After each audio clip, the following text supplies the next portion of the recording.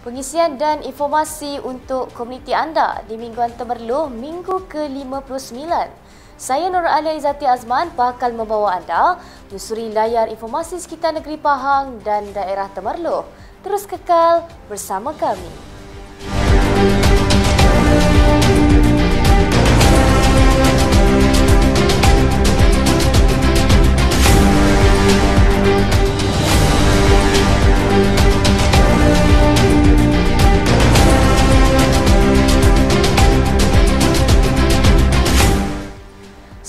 244 pejuang yang menentang tentera Jepun dalam era Perang Dunia Kedua di Tanah Melayu. Diabadikan pada Tugu Peringatan FOS 136 Pahang di Kem Puncak Mas.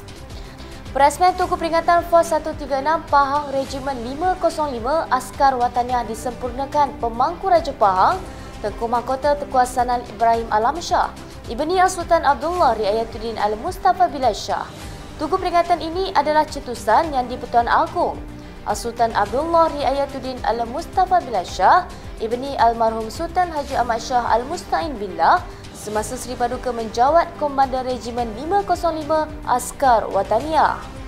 Kerajaan Pahang memperuntukkan 47 juta ringgit untuk persediaan menghadapi monsun timur laut yang dijangka bermula November ini.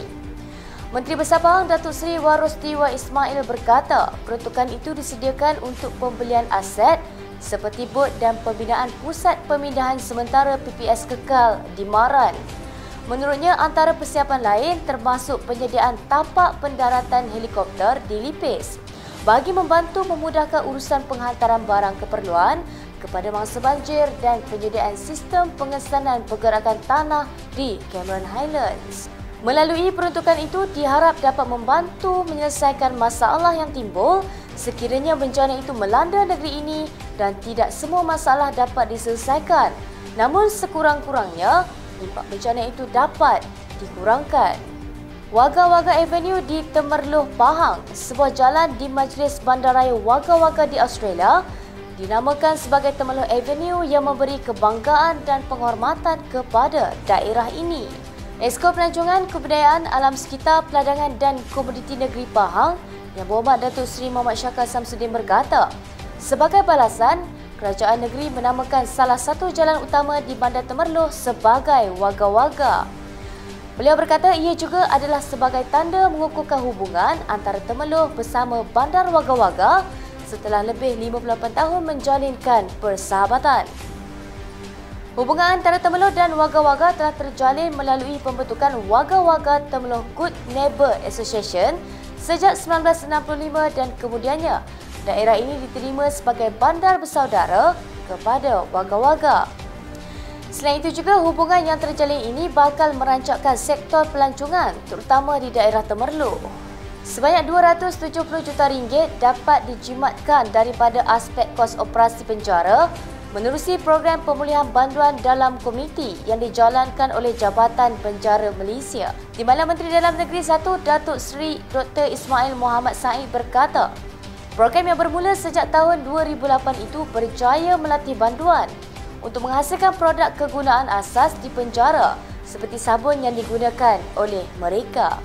Tambahnya, selain diberikan khidmat kaunseling, mereka juga dilatih dengan pelbagai kemahiran yang membuka ruang pekerjaan apabila kembali kepada masyarakat kelak termasuk menghasilkan produk untuk kegunaan di penjara.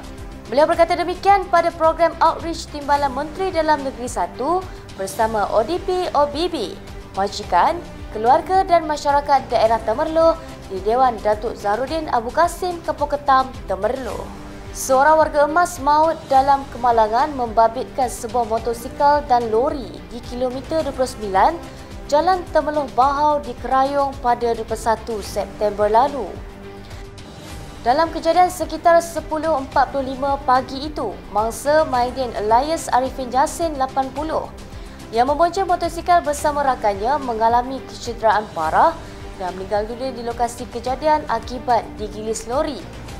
Ketua Polis Daerah Bera Superintendent Mansur Samsudin berkata, berdasarkan siasatan awal mangsa bersama rakannya Zainal Abidin Zainan 74 dalam perjalanan dari Feldalui Timur ke Kerayu. Kami di Temeloh TV ingin mengucapkan salam takziah kepada keluarga mangsa. Liputan 4G di Temerloh telah mencapai peningkatan 10% kepada 96.02% setakat suku kedua tahun ini berbanding pada tahun 2020 yang mencatatkan sebanyak 86.02% liputan. Esko Sains, Teknologi, Inovasi, Komunikasi dan Multimedia Pahang yang Muhammad Datuk Muhammad Fakruddin Muhammad Arif berkata, Peningkatan tersebut adalah hasil pembinaan menara baharu di Temerloh. Menurut beliau, empat menara sedang dalam pemasangan menara dan kerja-kerja awal iaitu di Kampung Gantuk, Kampung Paya Ladang, Kampung Belengu dan Kampung Sungai Kepung. Baki tujuh menara daripada 13 menara yang dirancang sedang dalam perancangan di mana ianya terletak di Kampung Tanjung Nalalong, Kampung Teluk Sabak, Kampung Pulau Raya, Sempadan Kampung Sungai Kepung, Taman Seri Belengu. Jalan Institut Biodiversiti Lancang akan memberikan keseliputan ke kawasan berhampiran. Selain itu, dua kampung orang asli di Temeloh iaitu Kampung Orang Asli Paya Sendayan dan Kampung Orang Asli Bukit Negeri telah menerima internet teknologi satelit yang telah beroperasi sejak April 2022 yang menawarkan internet percuma kepada orang asli selama dua tahun. Inisiatif yang dilakukan oleh Tourism Pahang yang melakukan promosi secara solo secara terus ke bumi New Zealand telah merapati dan menarik minat pemain industri dan media pelancongan untuk mempromosikan negeri Pahang. Pahang merupakan negeri pertama yang melakukan promosi ini yang sedikit sebanyak akan memberikan impak bukan sahaja kepada negeri Pahang Pengurusi Pusat Ekonomi Digital Keluarga Malaysia PEDI yang dilantik menjadi mata dan telinga mengenai capaian liputan internet di kawasan sekitar masing-masing dalam usaha meningkatkan perkhidmatan itu kepada penduduk setempat. Setiausaha politik kepada Menteri Komunikasi dan Multimedia, Datuk Dr. Budiman Muhammad Zuhdi berkata, Pengurusi PEDI boleh berbuat demikian dengan menyalurkan aduan menerusi laman sesawang kepada Suruhanjaya Komunikasi dan Multimedia Malaysia SKMM. Pelantikan watikah kepada 112 pengerusi PEDI di Pahang pada 20 September yang lalu adalah bagi memperkukuhkan lagi fungsi PEDI supaya terus menjadi sebuah pusat aktiviti sosio-ekonomi rakyat yang strategik dan berdaya saing. Beliau mewakili Menteri Komunikasi dan Multimedia Tan Sri Anwar Musa ke Majlis Penyampaian Watikah Pelantikan Pengurusi PEDI dan Taklimat Telekomunikasi bersama pengguna di Dewan Tun Razak, Temerloh.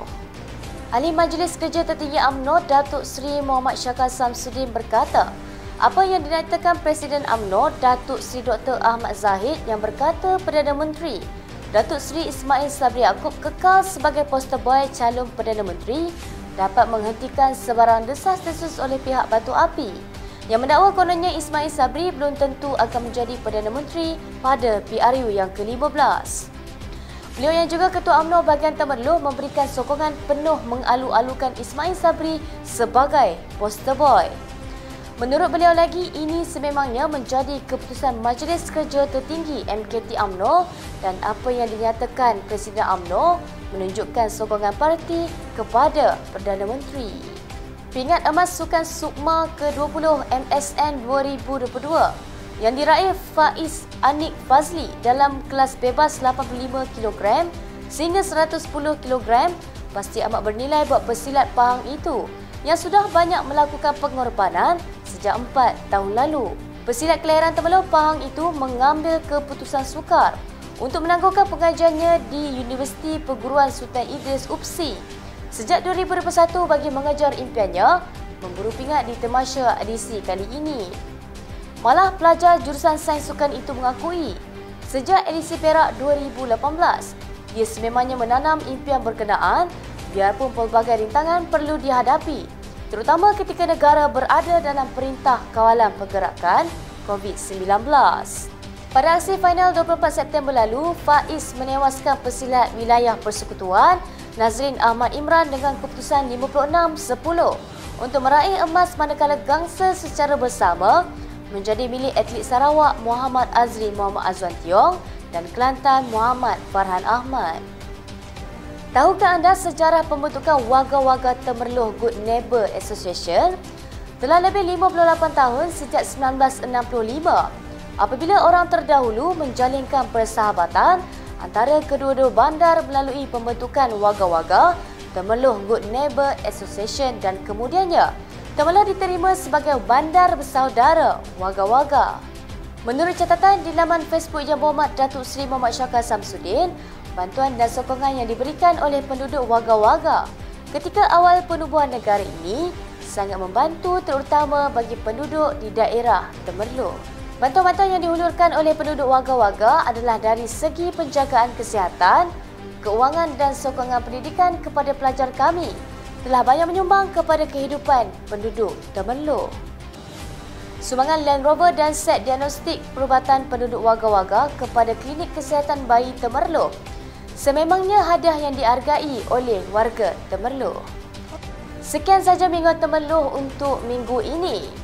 Saya Nur Ali Izzati Azman. Jangan lupa untuk saksikan Mingguan Temerloh pada setiap minggu jam 9.30 minit malam secara eksklusif di Facebook dan YouTube Temeluh TV.